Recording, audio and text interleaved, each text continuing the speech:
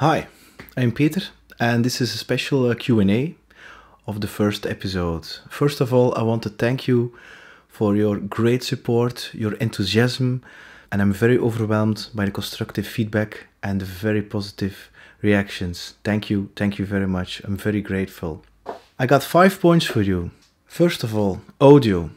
Yes, I'm aware this is the first video and I've learned everything myself and the audio, yeah, it's not perfect. I was using the microphone from the camera.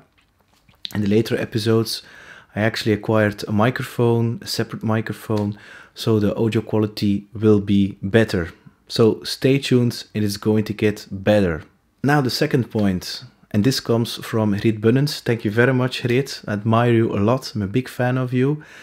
And she calls it Myth 6. Actually, I call it Myth 0 is the myths of all myths. The myth is that some people think you're a natural born sales. That's absolutely rubbish or BS. Everybody can learn to sail and everybody can learn to sing. I only suggest that doing both at the same time is maybe not an ideal combination, except maybe you're selling microphones. Just as like creating or making these videos, there is a learning curve and I saw that uh, my very first sales manager when I was 23, her name is Els, and she also subscribed, and I'm very grateful because yeah, she's actually my first sales boss. And I remembered my very first presentation or meeting with a potential customer, and I failed completely. I was so nervous, and I didn't know what to say, and I still remember it. Yeah, today that it was not good. But hey, we're 20 years later, and um, that's the process of learning. Eh? That's the journey I'm always talking about. So if I can do it, you can do it yourselves. The third point, is something very strange. A lot of people also reacted to me that they also have been thinking to start a YouTube channel themselves. Now, it's the same reaction that I get when I um, have finished an, a concert with uh, with our band, and people come to me, yeah, you play great guitar. I also want to learn the guitar. I have one advice: buy a guitar, get some lessons, and get starting to play music because there is for me no other way to play the guitar. And it's the same with the YouTube channel. So don't be afraid and just do it and jump and just start and you know that you are a beginner and that's okay but just do it. And please if you feel it you have the passion please do it because it's so much fun and it gives you lots of energy and passion. The fourth point why are you doing this? Yes i have a full-time job. Yes i have a family. Yes i'm playing mu music. I do this because i love the passion and the energy of it.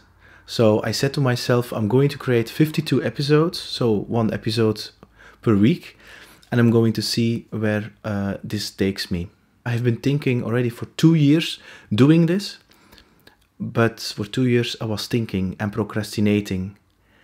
And then in the beginning of 2020, I said, let's do it, let's jump, and we will, and we will see where we are heading.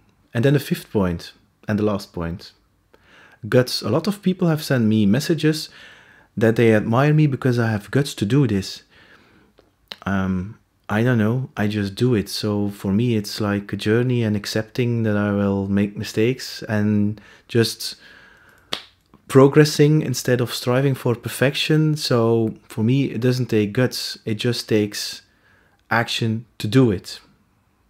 And also, I heard a very strange comment today. Yeah, but yeah, I cannot do this. I would love to, but I'm not so extrovert like you. This is, has nothing to do with being extrovert this is for me an excuse. If you really want it, and if you really want to do this, you just do it. And if you don't, you just find an excuse. So, again, I want to thank you for your great enthusiasm and your tremendous support because I feel really overwhelmed by the reactions. Because, yeah, I admit it, the night before I launched the first video, I was actually, um, yeah, doubting and a little bit scared. Should I do this? What are people going to think of me? But yeah, it's that just that little voice, but you just do it anyway. And step by step, you take baby steps. And this is actually how you eat a very big pink elephant. You chop it into little pieces and you eat it one by one. I wish you a good day, a great evening, wherever you are. And in a couple of days, I'm going to publish the new episode, and it's about five reasons why I think you should learn to sell. Thanks again. Bye bye.